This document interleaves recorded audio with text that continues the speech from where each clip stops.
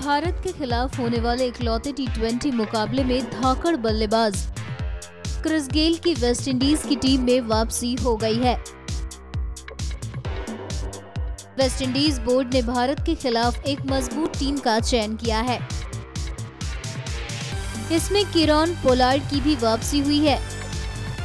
इससे भारतीय टीम की मुश्किलें बढ़ सकती हैं।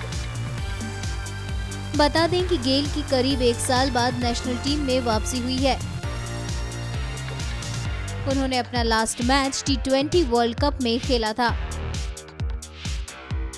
गौरतलब है कि गेल टी में सबसे ज़्यादा रन बनाने वाले बल्लेबाज हैं।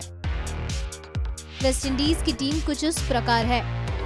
Carlos Brathwaite, Samuel Badree, Ronsford Beaton, Chris Gayle, Evin Lewis, Jason Mohammed, Sunil Narine Kieron Pollard, Rovman Powell, Marlon Samuels, Jerome Taylor, Chadwick Walton, Kesrick Williams.